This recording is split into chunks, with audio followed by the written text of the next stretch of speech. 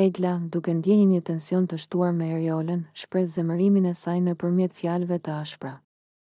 Ajo ofendon rëndë Eriolën, duke thënë se ajo është shpifëse dhe nuk është një vajzë e mirë. Fjalët e Eglës janë të ashpra dhe nuk mbajnë asnjë lloj kënaqësie për Eriolën, ndërsa Egla vazhdon me akuzat e saj, ajo shprehet më tej duke e krahasuar Eriolën me një sorrë të shëmtuar, duke shfaqur zemërimin dhe pamundësinë për t'u pajtuar me të.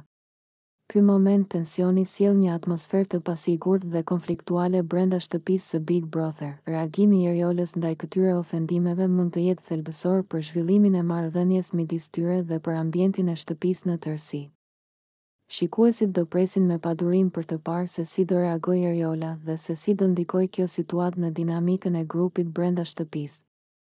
Çfarë zhvillimesh do sjellë ky konflikt dhe a do ketë mundësi për pajtim dhe marrëdhënie të reja mes Eglës dhe Eriolës? Ky mbetet të shihet në vijim.